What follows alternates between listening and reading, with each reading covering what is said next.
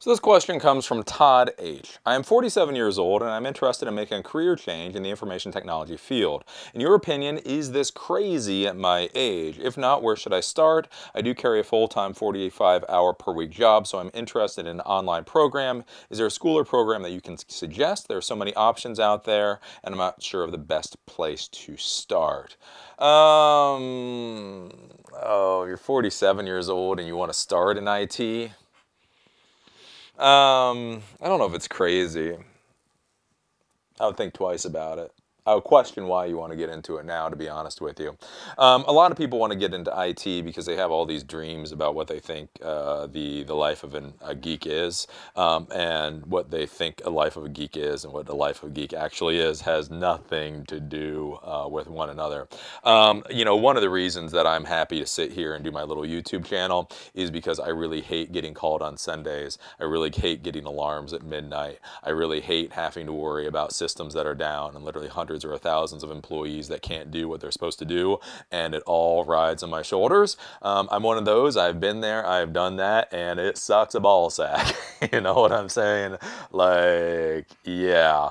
Um, it's one of those things you have to think about. Like, I remember, like, back in the day, and being a young person and making quite a bit of money doing IT. And then I actually broke down like what my hourly salary was. So compared to other people my age, I was doing really well. But then when you figured I was working like 60 plus hours a week, you realize that essentially if I was doing the job my buddies were doing, only doing that 60 hours a week, I would probably end up making more money. So it's like if you look at the whole, if you look at just the paycheck, it looked like I was doing really well. If you actually broke it down into hours, um, I probably could have been a construction laborer and and done about as well, right? So a lot of things in the in the normal IT world, they're not quite what you think they are. And going in at 47, it, it raises a lot of red flags about why do you really want to do this, right?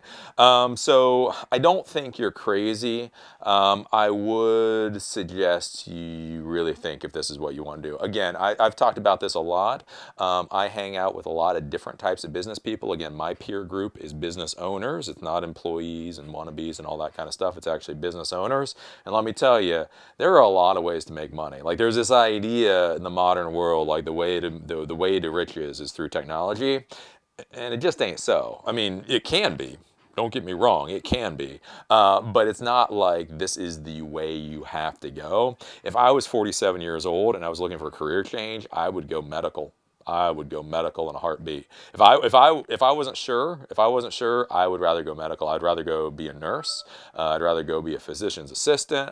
Um, I would rather medical medical has a nice, nice future in front of it that makes a lot of sense. Technology doesn't, because um, what you have to realize, like if you go into a lot of these other professions, um, once you get certified, you're certified. Once you're a licensed practicing nurse or something like that, uh, you have to continue uh, with your uh, continuing education, but essentially that's what you are. As long as you do your however many continuing education credits, you are that. You demand a certain amount of salary, and it's pretty good. The problem is in the IT world, man, you can get an MCSE and three years from now be, be irrelevant, be basically worthless. I've seen this happen a lot where people are at the top of their game, they're making six figures, they're absolutely awesome, and the tech technology that they support disappears, and then they're screwed. They're basically going back to square one.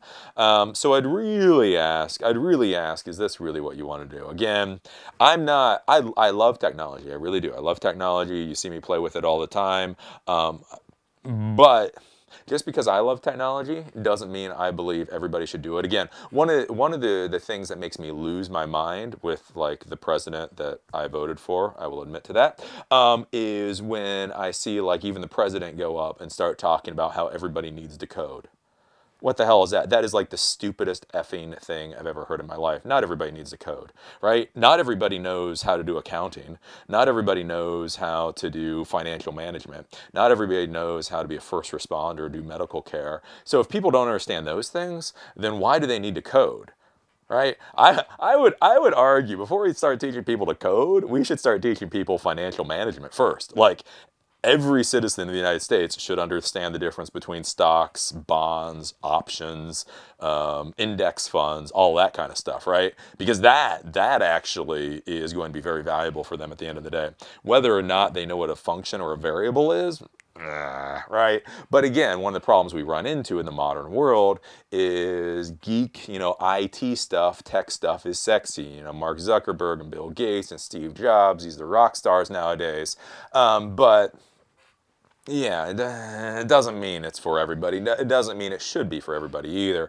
So what I would argue, really, if if I was looking at a 47 year old that really had to make a life change and get into a better job, I would argue medical. Medical is the way I would go. Again, nurse or, or whatever else.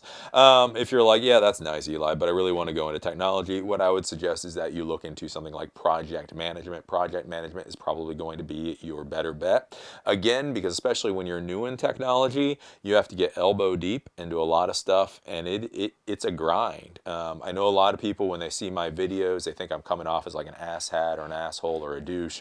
And what I try to keep explaining to you guys is this is our our field, right? If you if you can't handle me on this video, just just just stop. Just stop. This is our field. Our field is type A personalities who only care about getting done what they need to get done and really don't give two craps if you get hit by a bus tomorrow, right? If you get hit by a bus, the only question they're going to ask is who's going to replace you. That's going to be about it. I mean, it really is. Like, um, I mean, it, it's so bad. Like, you guys don't even get, you don't get how brutal this field can be. Um, like September 11th. So I was working at the enterprise company, uh, for, you know, doing the tech stuff uh, on September 11th. On September 11th, sitting there watching the planes, going to the Twin Towers, the whole nine yards. Um, and like the TVs were on because they had news stations on, and we're all like dumbfounded as everything, you know, the buildings crashed and, and all that. And literally, we had the director of the company, of the, that, that, the, the branch or whatever, walk in, and he looked around at everybody and said, okay, uh, the U.S. got attacked today. Obviously, the telephones and all that aren't working, so I want you guys to go home, uh, get your head straight, and then I want you back in here tomorrow at 100%.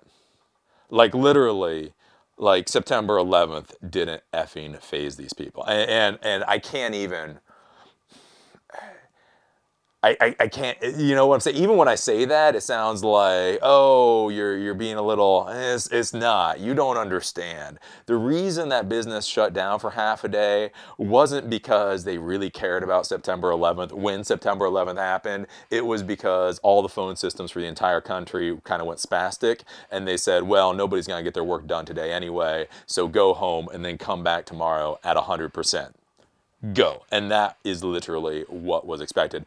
I literally i had my i had my, my manager on the line. So again i was a geek i was a regional support person. I had my manager on the line and when I was talking to him, I just had that dumbfounded, like I was just talking to him in that dumbfounded way. You talk when you're dumbfounded, you know, like when you see something like that happen and you're thinking about what, what, the, what it's going to mean for the future and all that. And literally, I swear to you, I swear to you, my manager was on the phone with me and he said, uh, what's wrong? You, you, just seem really out of it. I was like, um, did you just watch the Twin Towers come down? Yeah, well, yeah, yeah, of course. it's like, um, isn't isn't that isn't that enough? Um, um, biggest attack on American soil in history. A little dumbfounded here, right? And uh, and so that really, I mean, that is really what our field is like. So um, so I'm not really sure uh, if it's a smart idea um, to be on the that base level. You know, being the CCNA, being the MCSE, uh, even the programming stuff, where you really you have to be on top of it. You have to do your job. Um, so what I would probably argue, if you really want to do it, is go for like the project manager position. And go from there. As far as what school to go to, I would, I would almost never recommend an online school. This is something that I say again and again. I don't believe in online schools. And a lot of people argue with me, and that's nice, fine. You are right. With every argument you want to make, let us just say you are right. And I'm going to toss in what I'm going to say here. It doesn't matter, honestly, how good the online school is, right? And that's what, what, what, what, what? Right? Uh, one of the issues that you run into with doing the online school, and this is what I see a lot, is a lot of people want to go to online schools because they think it'll be easier. They think they'll be able to work it around their schedule and all that kind of horse crap. And what you find out in the real world is that they don't. When you have a class that you actually have to show up to, uh, you're more likely to, in fact, show up to that class. When you have an online class uh, that you have to turn on once or twice or three or whatever times per week, it is just so easy not to turn it on. Or you turn it on and it's a really dull, dry, horrible lecture and you start going to sleep or you start doing other things. Um, it's just, it doesn't focus your attention the way that a normal classroom class does. Beyond that, you don't have the interaction with the other people in the class. You, you don't get to, you don't get to talk to other people, to, to hear what they're doing. You don't get to discuss your own ideas. You don't get to toss things back and forth. And that is, that is, that is, is massively valuable. I would probably argue that that component is about, is, is at least 50% of what the college degree is about, is about actually interacting with the other people. And so if you're online, you just don't get that experience. Uh, so I would argue against online schools. If this is really what you want to do, go to an in-person school. And I know you're going to give me a lot of excuses here. And as I will say, from the bottom of my heart, figure it the hell out. If you can't figure out how to go to a real physical school, again, you're scaring me about whether or not you really should change things up at all. Um, so those are my thoughts there. I know I'm not really excited about that, but um, I'd say medical. Again, I'm interested in making a career change in the information technology field. Why? Why? Think you're going to make a lot more money? Think there's think there's some some some gold at the end of that rainbow? some some magical lucky charms? There's not. There really isn't, right? Um, it's a hard career. It's a tough, demanding, brutal career, uh, especially if you're doing it well. Um, and it's probably not the best option for most people, to be honest with you. So I would argue, I would honestly, from the bottom of my heart, I would argue if you're interested, I would say take a look at the medical professions. I think the medical professions will do you better at the end of the day.